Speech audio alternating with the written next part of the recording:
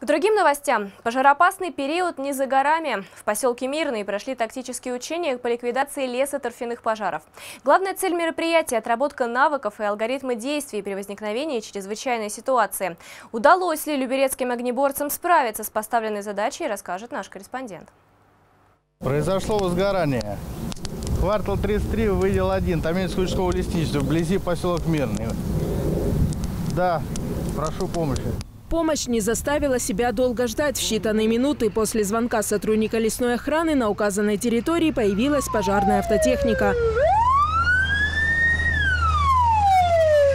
На место ЧП прибыли бойцы из 232-й части, а также сотрудники Люберецкого пожарно-спасательного гарнизона. К счастью, огонь не успел охватить большую территорию, однако основную угрозу он нес не только лесному массиву, но и жилому сектору, расположенному вблизи от очага возгорания. Все это делается для чего? Для того, чтобы у нас было плотное взаимодействие с нашими э, лесхозами, с нашими участковыми лесничими, для того, чтобы мы своевременно могли отреагировать, потому что в первом эшелоне, соответственно, прибывает пожарная охрана, а далее уже прибывает сила лесхоза.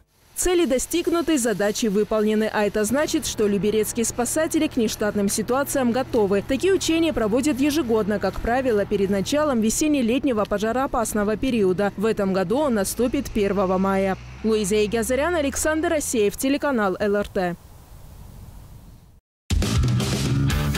Всем привет! Я Луиза, а вы смотрите телеканал ЛРТ. Подписывайтесь на наш канал на Ютубе, ставьте лайки и комментируйте. И вы будете в курсе самых интересных событий.